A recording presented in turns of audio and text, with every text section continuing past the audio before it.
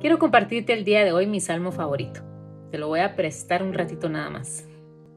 Espero que sea de bendición para ti si estás esperando una palabra de aliento, creo que esto es lo que bien necesitas. Dice el Salmo 20, que Dios te responda cuando te encuentres en aprietos, que el Dios de Israel te brinde su protección, que Dios te envíe su ayuda desde su santuario, que Dios te dé su apoyo desde Jerusalén. Que Dios se acuerde siempre de todas tus ofrendas y que reciba con gusto los animales que presentas en su honor. Que Dios te conceda lo que pidas de todo corazón y que haga realidad lo que planeas hacer. Lanzaremos gritos de alegría cuando Dios te conceda la victoria. Y alabando a nuestro Dios, haremos ondear las banderas.